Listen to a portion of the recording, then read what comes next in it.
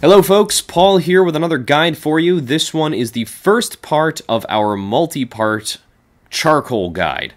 Today we're going to start with coconut charcoal. Coconut charcoal is comprised of carbonized coconut shells that are then ground down and bound together with some kind of binder. It's usually cornstarch. It's actually pretty benign stuff.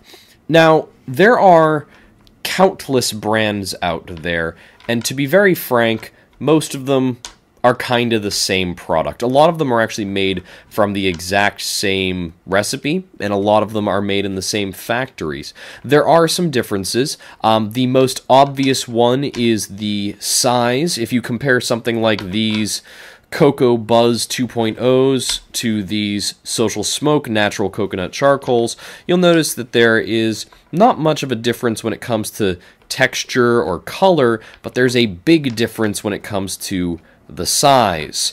Uh, now, what that means is that this piece of charcoal is going to burn for considerably longer than this piece of charcoal and produce more heat right off the bat.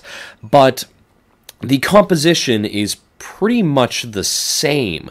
Uh, you do want to watch out for really cheap, low quality coconut charcoals. There are a few companies out there who have substituted ground up wood charcoal as a filler, and that, mm, well, that can cause off flavors. That can introduce carbon monoxide into the uh, into the smoke, and in general, they're just not as good. They don't burn for as long. They don't burn with as mellow a heat. Sometimes they burn very hot and uh, sporadically. But if you choose from one of the better brands on the market, and I want to be clear, this is not an all-inclusive list of the best brands of coconut charcoal. Uh, there are lots of other great brands out there, but if you choose one of the good brands, one of the quality brands, you're guaranteed to get a good session. You're guaranteed to get a piece of charcoal that does not add a lot of flavor to the session, if any, does not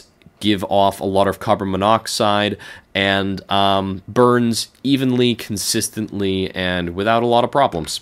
I love ch- coconut charcoal, and you should definitely, definitely give them a try if you've not tried them yet. Now, the vast majority of coconut charcoal brands you're going to find are entirely natural charcoal, which means that they don't have any of the uh, accelerants or the like chemicals that are added to um, quick light charcoal to help them ignite themselves with very little heat.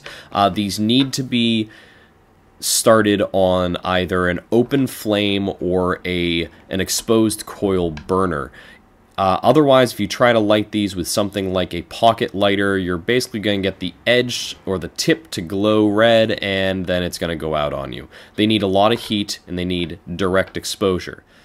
Now, that being said, there is one brand of coconut charcoal that does have a quick light version, and that is a chronic hookah quick light charcoal. Uh, they have the same type of chemicals as most quick lights, and they light um, fairly easily with like a Bic lighter or a torch lighter or something like that.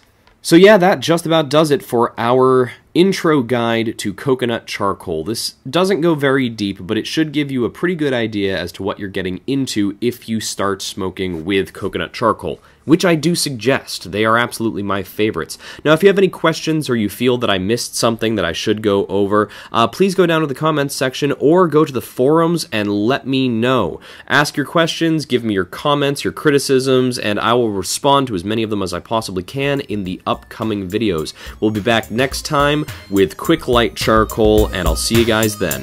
Happy smoking!